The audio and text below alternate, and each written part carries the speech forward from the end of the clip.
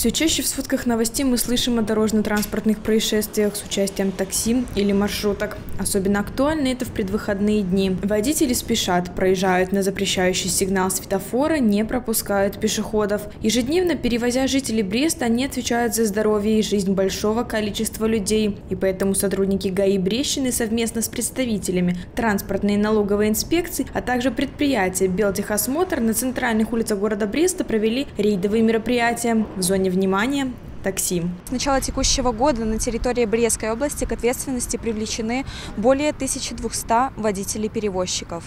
Из них 5 водителей находились в нетрезвом состоянии, 7 водителей не имели права управления транспортным средством.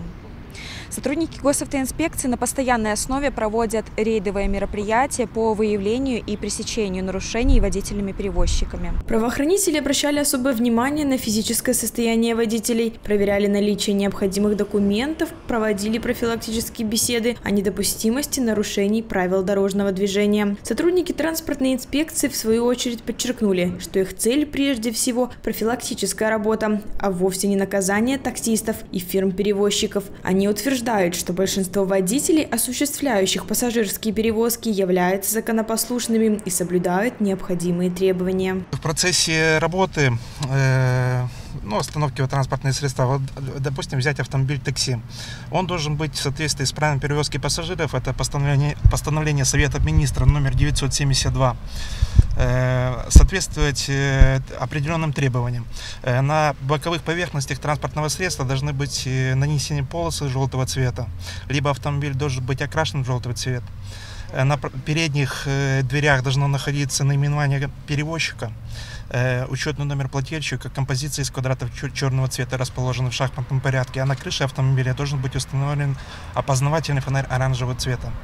Значит, отсюда следует, если в движении автомобиля какой-то элемент такси Э, отсутствует, это для нас признак э, ну, провести, остановить и провести проверку. Да, большинству перевозчиков вопросов нет. Однако результаты подобных профилактических мероприятий свидетельствуют о том, что водители транспортных средств, предназначенных для перевозки пассажиров, все же не всегда в полном объеме выполняют требования нормативных правовых актов в области обеспечения безопасности дорожного движения. Эти моменты здесь стараются выявлять и пресекать. В этом году в Брестской области пресечено более 100 нарушений в сфере пассажироперевозок.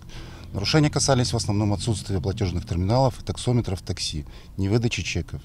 Например, для перевозчика за отсутствие платежных терминалов для платы банковской карточкой в 27 автомобилях штраф составил более 7 тысяч рублей.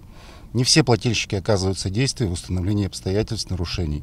Административные дела рассматриваются как налоговыми органами, так и судами за уклонение от явки для дачи объяснений, за воспрепятствование должностным лицам в проведении законных действий, за невыполнение законных требований и даже за оскорбительные выражения, адресованные налоговым инспекторам. Работа в этом направлении будет продолжена, ведь безопасность – это понятие комплексное.